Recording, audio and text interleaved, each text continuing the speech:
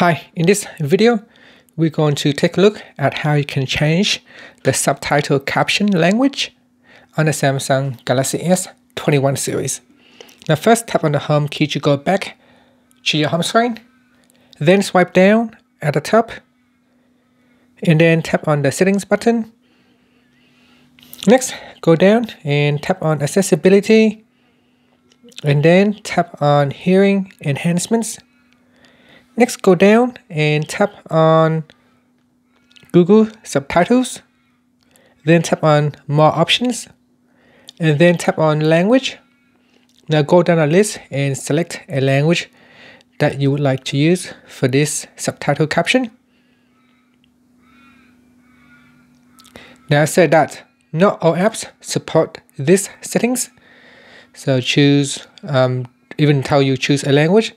Uh, it doesn't mean all apps going to uh, to work with these uh, changes. And finally, you can tap on the home key to go back to your home screen. And that's it. Thank you for watching this video. Please subscribe to my channel for more videos.